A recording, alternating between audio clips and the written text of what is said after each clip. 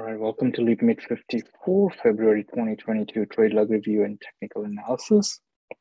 So we're going to get started with technical analysis part first and then move on to the trade log review. Can you guys see my screen?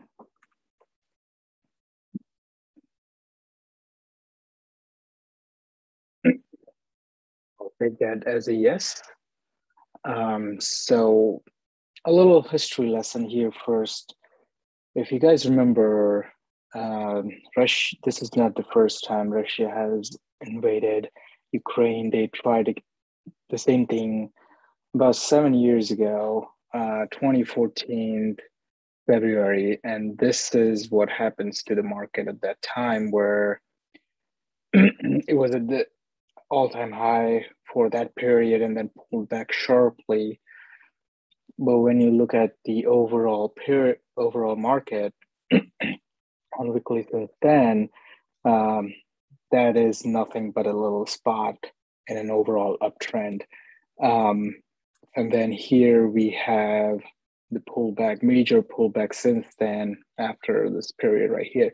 Um, this was due to um, and this one started about October, went all the way till December, and this was mainly due to the same sort of scenario with the with the um, intensifying trade war between U.S. and China. If you guys remember it, it wasn't that long ago, uh, and also on the fear of central bank uh, tightening the monetary policy, slowing economy, etc. And we saw this pullback and then we recover from it for next two years.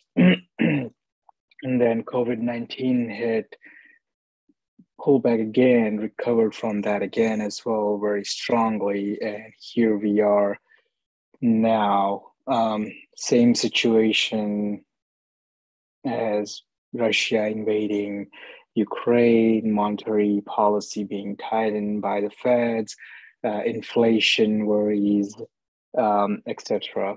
Um, this whole thing started about you could say it started September, where we saw pullback and then a quick recovery, and then basically stock markets started to trade sideways or pretty much halted. Like it would pull back, go up, pull back again, go up again, no clear direction. And then come January of this year, um, it just started this downtrend that we are in right now. Now, how long this downtrend and or the sideways will last, um, that's TBD. No one can predict that. Um, what you can make be sure about is that market will recover from it. We have seen bigger bigger event like COVID-19, trade wars, which was a similar type of situation with the monetary policy being tightened and interest rate increase and etc. to fight off the China trade war. Um, we have seen significant pullback like this again and again and again.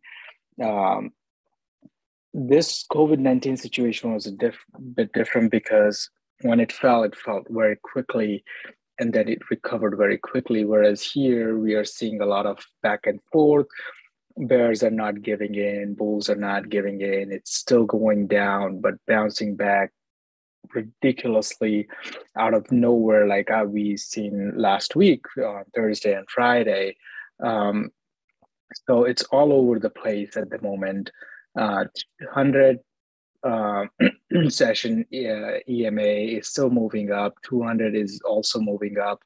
Uh, 50 day, 50 session is curling back down, but overall trend is still up.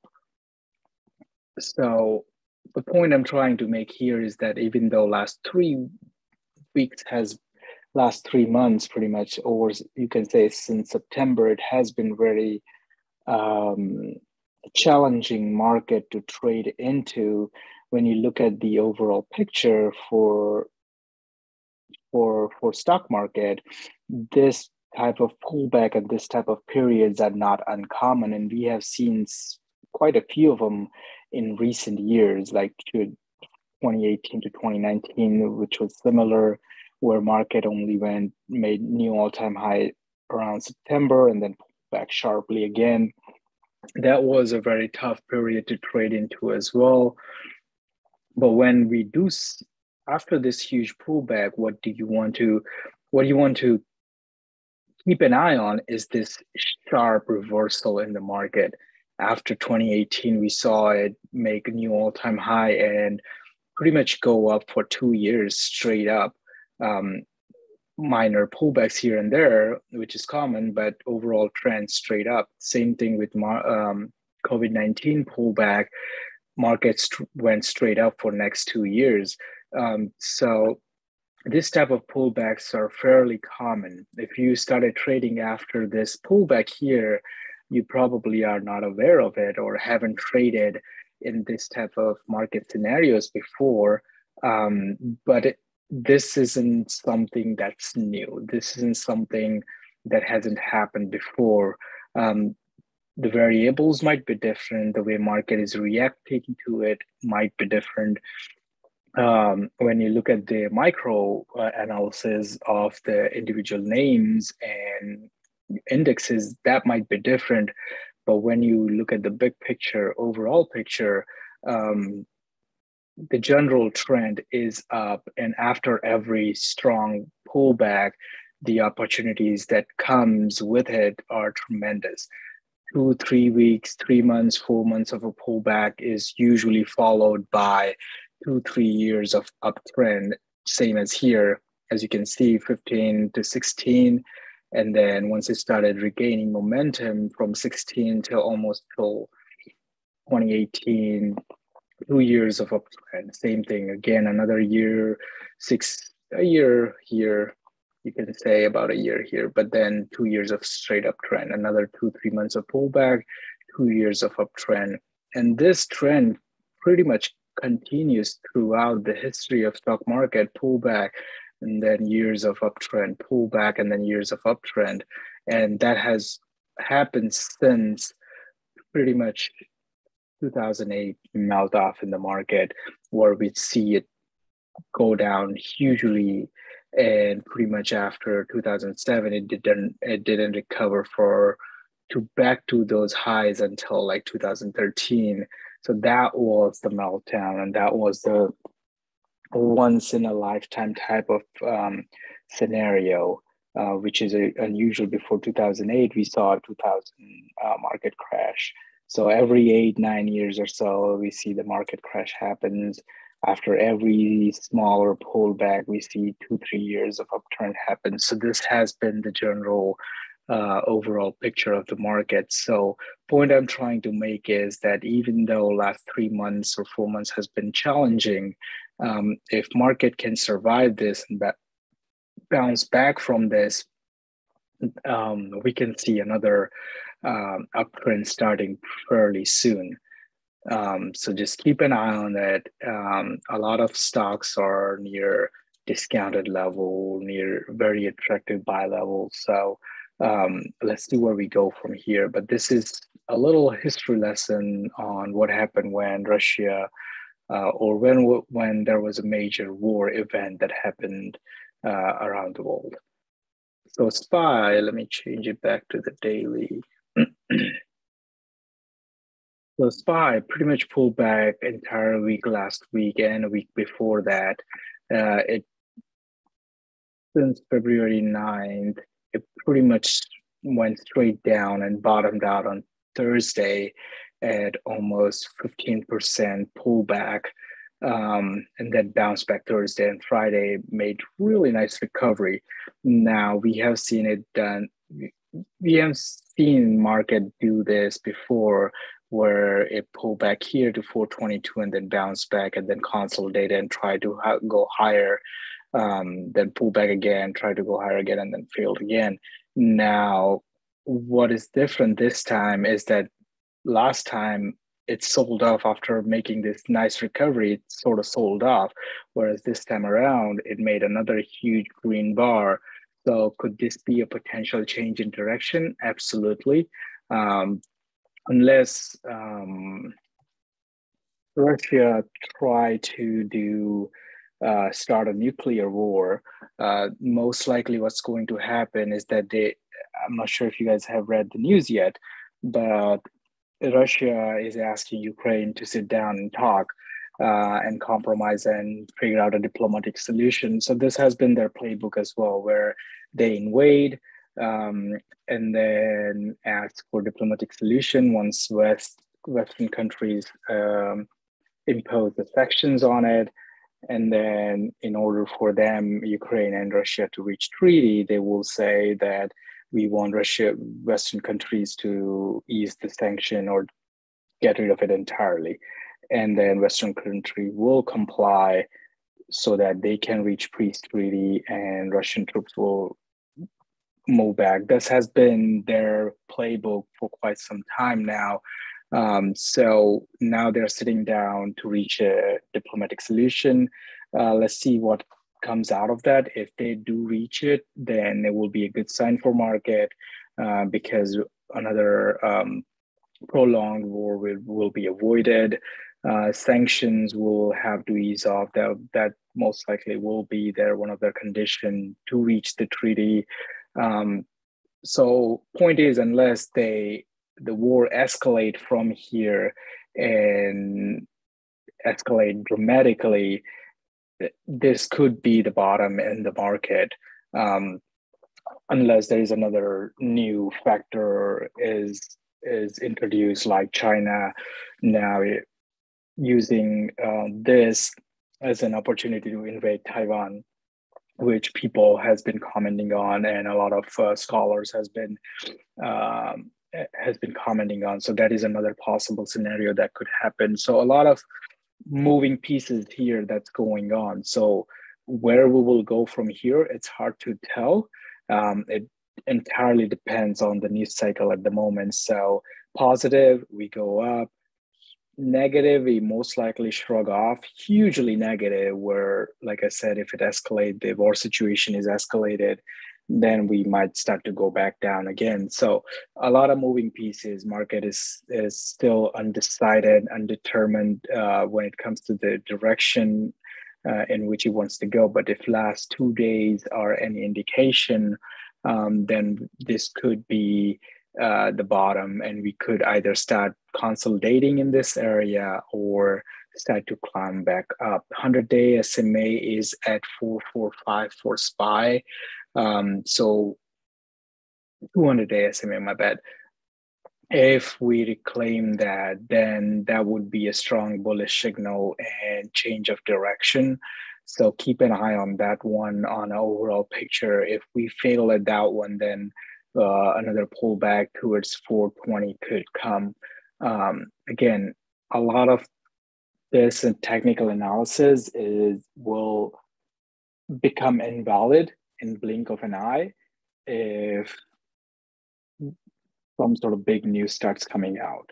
Um, right now, everything is very volatile. So no levels, no technical analysis is going to help you um, if if um, a major news breakout, positive or negative. If it's positive, let's just say come Monday, Russia and Ukraine say they have reached the agreement, market will take off. Uh, if they or if Russia says, "Oh, we are we are ready for nuclear war," market will tank. At that point, no matter how strong your technical analysis is, um, it won't matter much because right now the whole condition of the stock market as well as the world is very volatile and could go in either direction. So be careful of that as you're taking position. Keep it small uh, and only quick trades. Again this volatility is not not entirely a bad thing. It can give you good opportunity to take trades but just be careful. Don't hold and hope for a bigger reward. 10 15 20% is great. You you keep on trading keep on trading. Look for re-entry book profit look for re-entry. Um, if you're wrong then just get out. If market changes direction you change your bias with it. Um, as you have seen last week we were like playing calls and put at the same time even on friday uh, for Amazon, we played calls in the morning and uh, puts in the morning. And then when it started bouncing, we started, we changed our bias and started playing calls. So this is not the market where you um, hold and hope. Like if you put if you're in a put position, this is not the market where you're like, okay, this is gonna probably bounce and then sell back again. Or if you're in call position, you're like, okay, it's gonna bounce back again. I still have like five days left. Um, each day is um, each day is different than the next one. So um, be careful. Don't hold position overnights unless you have to, and don't have a strong bias in one direction or the other. Look at the overall picture. Like I keep telling you guys that if overall market is bearish, then you be your your bias should generally be bearish, but you should be still be open to calls because one or two days there will be huge move on the upside as well. So um, that's for the SPY. 445 is the level I'm watching on the upside, and then 430 is the level I'm watching on the uh, downside going into the next week. QQQ, which is basically um, tech leading name ETF, um, on Thursday was down at 22%, which is basically in a bear market territory, bounced back strongly, and then again on Friday it bounced back, bounced up, not as big of a bounce as SPY made, but it was still up nicely, broke outside of this downtrend as well. So going into next week, I'm watching this 342 level right here. This is where it consolidated before. Um, this is where once it broke down, it pulled back significantly. This is where it was running to resistance last on Wednesday as well. Um, so this is going to be 342 is going to be the wall level to watch on the downside and break below that the next one will be 335 if it manages to recapture this 352 level right here um, then we can see we can confirm that there is a change in direction and we can we can continue to see it move up up upside towards 370. Now, this 50 day and 200 day SMAs are very close to each other. And if QQQ see another downturn here, then we can find this um, death cross event that I keep talking about, which is 50, the cross of 50 day and 200 day SMA. Um, and this could be a very strong bearish signal. So keep an eye on it. The same thing happened. This is not as strong of a signal, um, but it's still pretty um, solid um, bearish signal where 100 day and 200 day, uh, 100 day and 50 day SMA cross. And as you can see, once that happened, it has been going down. So if this happened, we can see it pull back even further down. Um, so keep keep keep an eye on that as well. Uh, tech has been very weak. Um, but most of the weakness is coming from mid cap and growth names uh, rather than mega cap names like Amazon and Google. Even though Amazon, for example, is down almost 700 points uh, from all time high, it's down about 20%. Uh, let's just say 20% if I yeah 18% it's down about 18% and one point it was down last week about 25%. So even though Amazon has been weak and down, it's down about 20 to 25%, but the unicorn growth names like uh, Roku and Crowd, they they are down significantly. So a lot of weakness in tech ETF is coming from this names like Crowd, Docu, um, Roku, uh, SQs, some of the names are down quite significantly, uh, 50% plus downturn. So a lot of the, those weaknesses is coming from those names that is affecting NASDAQ as well as QQQ. But when you look at the other names like Google and Amazon, they are down, but they're down about 20% rather than 50%. anyway, Amazon bounced back up nicely again Thursday, Friday with the market level to watch on the upside is 3100 um, and then 3137 3185 will be the level to watch on the upside on the downside uh, 3000 is going to be the strong support level again. If it breaks below that, last time it happened, uh, it went straight to 28 something, and then again on the on Wednesday went straight to 20, uh, almost 2900. So 3000 is the level to watch on the downside for Amazon. 3100 is the level to watch on the upside as the week goes on, if it stays between these two levels, it will start forming some intraday levels that we can utilize for entry and exit. Google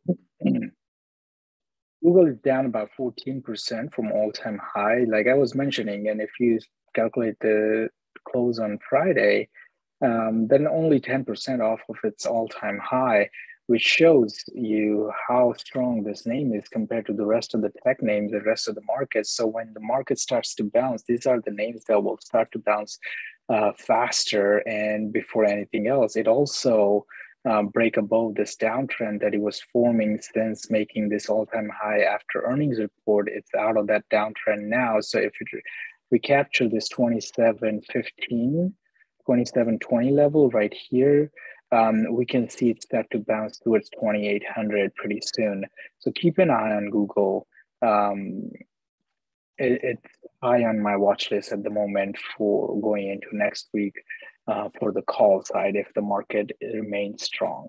Shop um, down. This is this is what I was talking about on Thursday. Shop was down almost 66% from its all-time high. Now, if this name is part of your index or ETF, um, it's going to affect it significantly. So, um, a very, very weak name.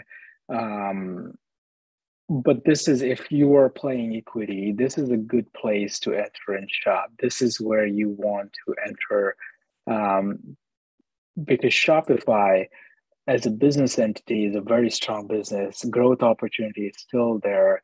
Um, it's doing very well. No real competition in the space either.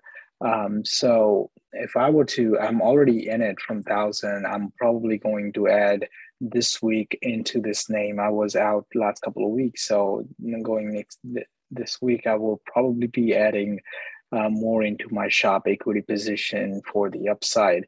Um, as far as call goes and options goes, um, the overall trend is downtrend. So um, if market turns red and things become weaker, Shop will be the first name you, where you would want to play puts in because uh, it has a lot of weakness, and when it goes down, it goes down big. So keep an eye on it.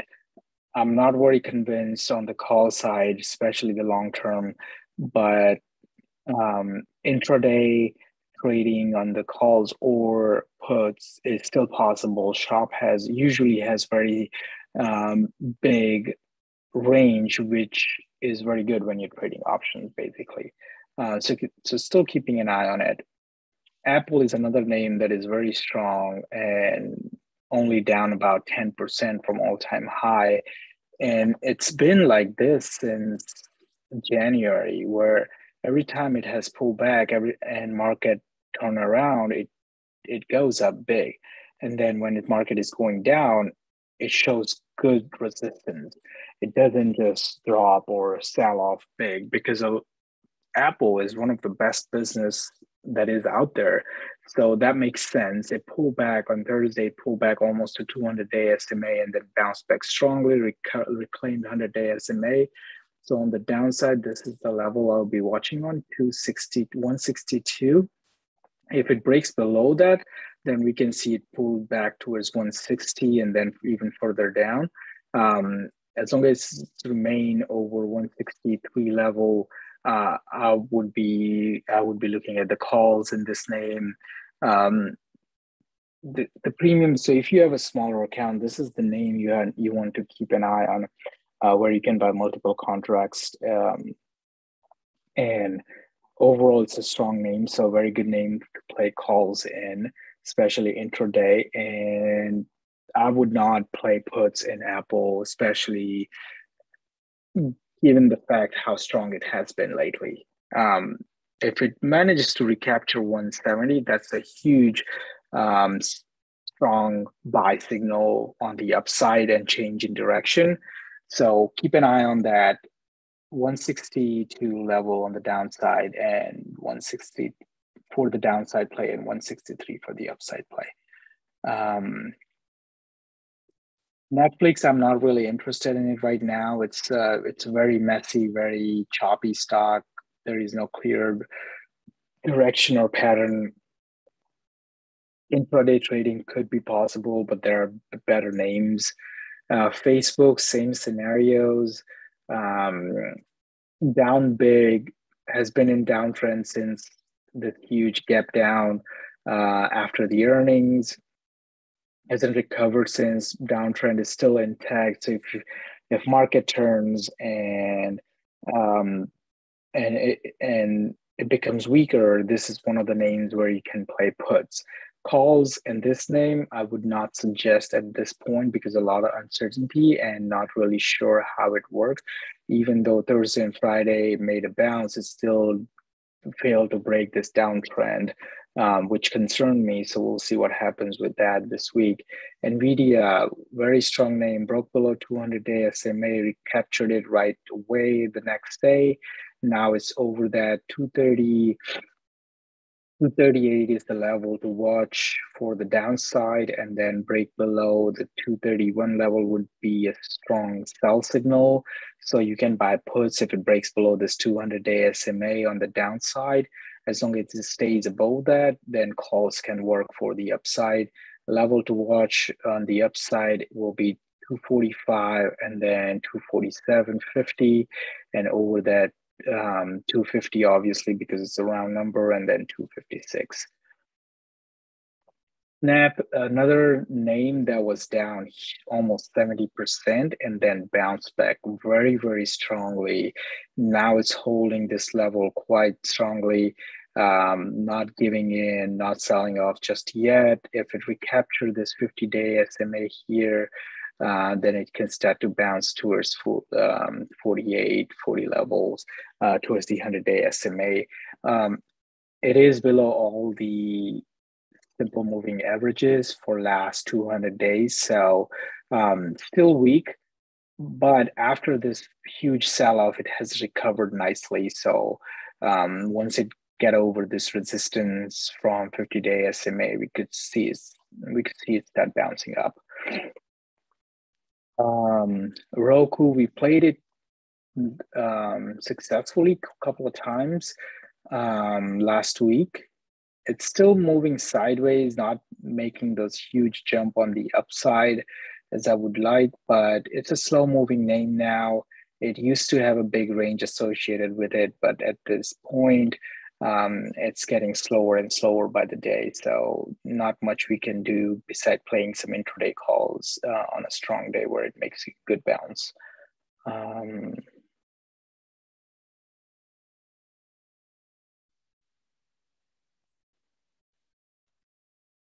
Tesla broke below this 800 level on Thursday right here close very close to 760 recaptured it again on thursday and then tried to bounce over 820 on friday but failed. Closed pretty break even. Um, nothing too were nothing too strong or too weak at the moment um, when it was trading in range around this 900 level, it made pretty much the similar move. As you can see, it dropped huge and then recovered bigly and then started trading sideways. Same thing happened. It dropped big, recovered. So I wouldn't be surprised if, it start to trade um, between 780 and 820 range for next week. If it breaks above 820, the next resistance is at 833 and then 845, 45, 40, 844, and then 858. Um, those will be the level to watch on the upside. On the downside, puts below 780 can work. Um, no, no real support after that until 760, and then all the way to 700 almost. Um, so that is 780 is the level to watch on the downside. Those are some of the names that I wanted to talk about personally. If there is any other name that you want to talk about, then please feel free to put it in the chat. I'll go over it. Quick um, trade log review. You all know the importance of trade log. Um, so looking back at February, um, first week started out pretty good. Uh, some good trades that we take. Amazon was the highlight on Friday, but other than that, we took some trades, good 20, 15, 20, 30% return overall for most part. And then comes week two, where this is where markets started getting a little bit more um, volatile and directionless. And this is where everything started going haywire. Like market was going down and then recovering and then down and then recovering. Uh, that sort of situation. So um, not nothing to brag about uh, in week two and week three. Week three was even worse than week two was, um, mainly because this Ukraine situation exploded and market just took the plunge even before you get a chance to uh, react. And at the same time, earnings were coming out and good earnings. Like we played UPST and Airbnb here for good gains, but the very next day, pretty much everything sold off. And then again on Friday, it was going crazy in, in both direction. Like this Tesla call that we played returned 200%. Uh, but when we tried to do it again, it failed and gave us like 35% um, loss. But so week two, week three, very uh, very very strange and difficult market to trade into which is pretty much um, evident in the trade log we come week four uh, we were off monday and then roku was star of the day on on tuesday. We made some good gains in roku and then amazon and then um, this one apple call work here as well. Um, and then this friday what's going on here. Um, this Friday was turning direction uh, where most of the calls that we took worked out great. Some good returns, 100%, 100%, 173%. Uh, only one Amazon call that failed. Um, if I were to hold that a little bit longer, it would have worked out because this the very same call. Uh, we played it again when it went down, and we, we got about 173% return on it. So Thursday and Friday were good. Even Monday, Tuesday, even though overall market was bad, we still managed to focus on some of the strong names and got some good returns. Um, I personally think that we are seeing the tail end of the this bad market, um, unless, like I said again uh, before, um, unless things get worse on a world stage from here on, where nuclear war breaks out or um, Russia still captured um, Ukraine capital Kiev um, or entire Ukraine for that matter, something like that, something huge happens uh, going forward, then we can still go lower and the market still can crash further. Um, but we are getting the tail near the tail end of it, and this is where um, that turnaround will happen, and this is where you want to get in uh, and make most of it, um, make most of the upside. And as I showed you guys earlier, usually after this sort of pullback and mundane months where market either trade sideways or go down, it, it is usually followed by two, three years long rally, right? Um, and that has happened for past 20 years. Um, so let's see what happens this time around. But I think we are getting near it. I think the opportunities for the upside will start to show up.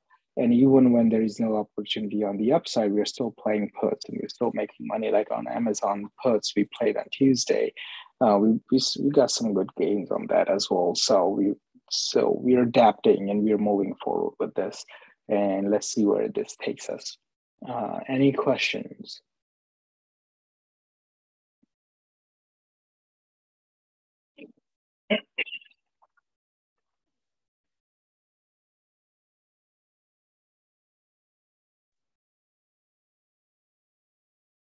Right um, if you guys have don't have any questions, thank you again for joining on this fine Sunday, and I hope to see you all again on Monday.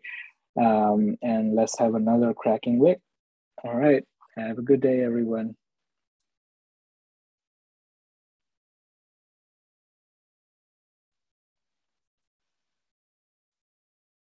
Um, Do you mean apple or ample? Ample.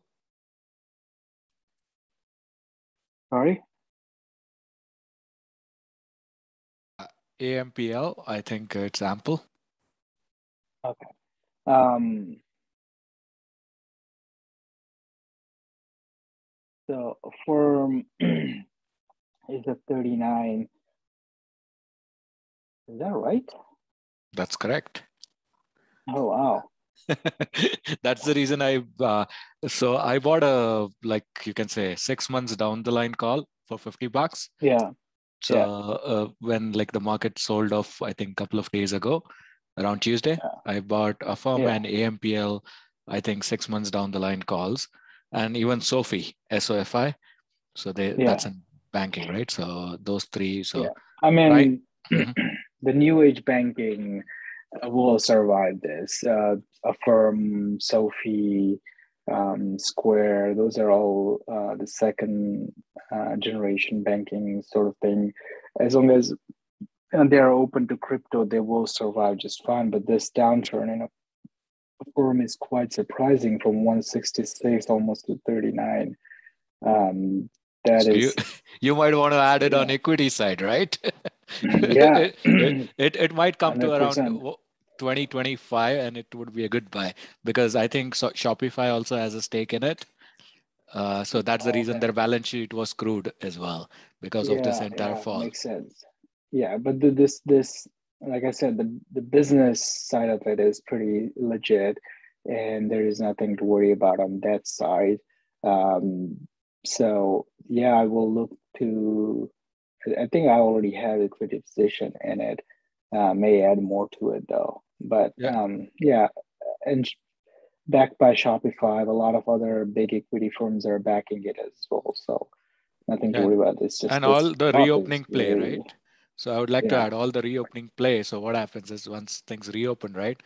Uh, the transactions, yeah. how businesses run, right? It will add, yeah. right? So that's what my thinking was. Like I just thought, let me have a different set of eyes, kind of. No, no, no, and you would be right. It's a very good place to enter in it or add to your position if you're already in it. and I bought the calls I bought. With. The calls I bought were like, you can say, 50 calls. I, I bought for 300 bucks, 10, 10 contracts, which was dirt cheap. Mm. So like, you can't ask for like better bang for buck. Oh, okay. Um, no, no, no. I I completely agree. Um, it's a good place to enter in it. I don't I don't see any more downside in Affirm at the moment. Uh, especially like you said, um, once things start to reopen, which he already has, um, next few earnings should be good for a firm and other uh, second generation banking firms like SQ and SoFi and Upstart, etc. Uh, Ample, I'm not very familiar with this name. Um, I'll have to look more into it. But the chart wise, it looks it looks good. Um, it has after this big fall, it held at um, levels quite significantly, and if this trend continues, it will start to do the gap fill towards the high of the um, towards this 38 level once it get over this 25. So the next resistance level AMPL is going to be near 25.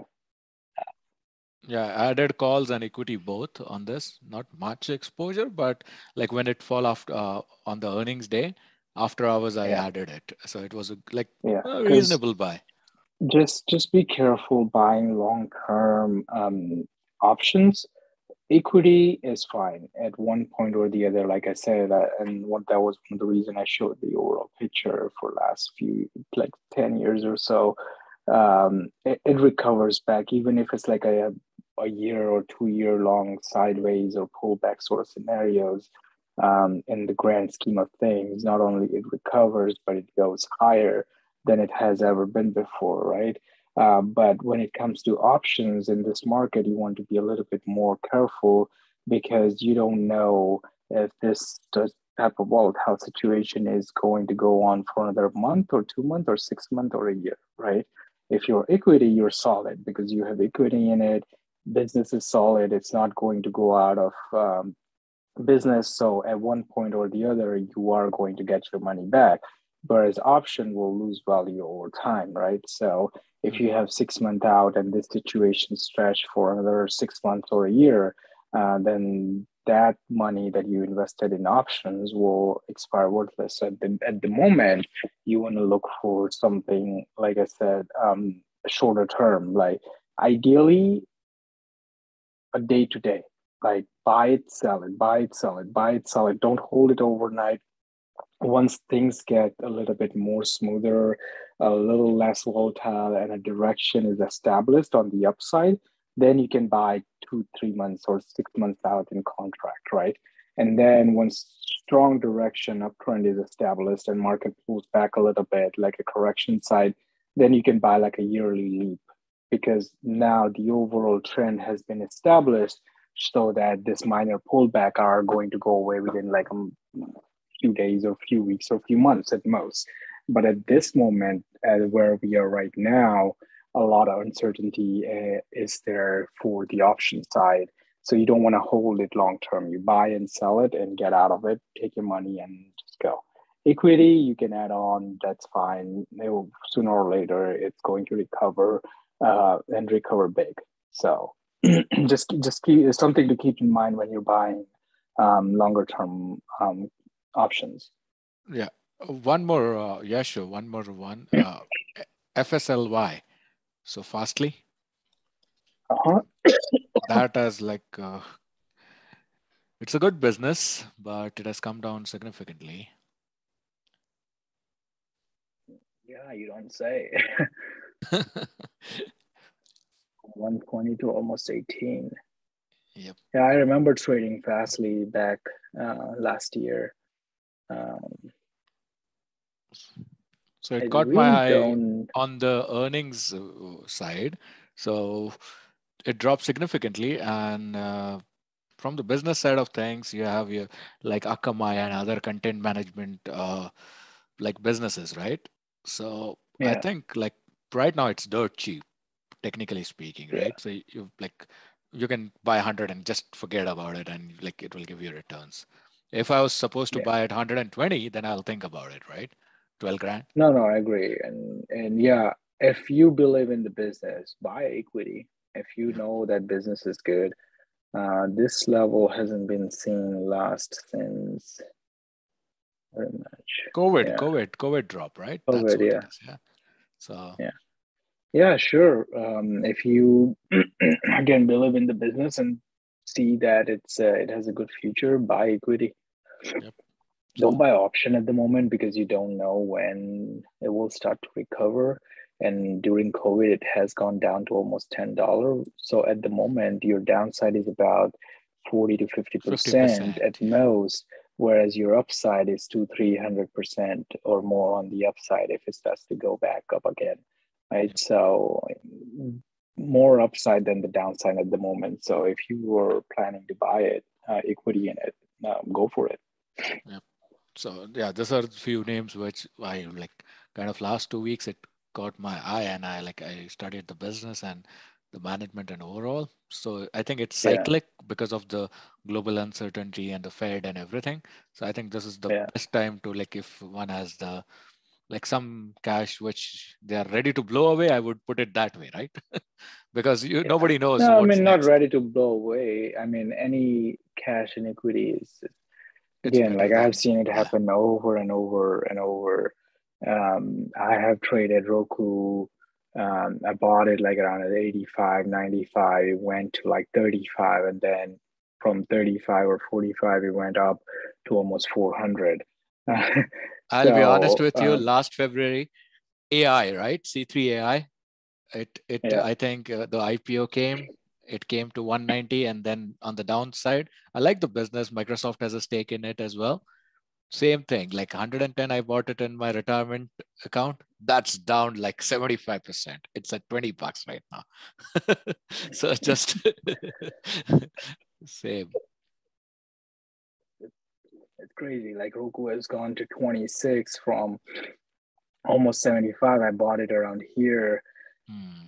And just held through this and then boom, sold it at like about 160 or something. I think it went to 400, right? Roku somewhere? Yeah, yeah. But this was before COVID and then COVID, it went yeah. down and I bought it again. And then it went to almost 400 and almost 500. Yeah, I remember. 490. That. So uh, huge swings are like, like when you look at the overall picture, it makes sense that um, holding equity for longer period of time usually give good returns whereas options you want to do like a week a day or maybe a month at a time. Options provide good returns in shorter time frame whereas equity provide good returns in a longer time frame. Yep inversely proportional. Yep anyway, um, thank you for sharing those names and thank you again for joining everyone today. Uh, I'm gonna go get some rest for myself, and I will see you all again tomorrow. And let's have a kick kick ass week again. All right. Thank you, everyone. Mm-hmm. Thank you.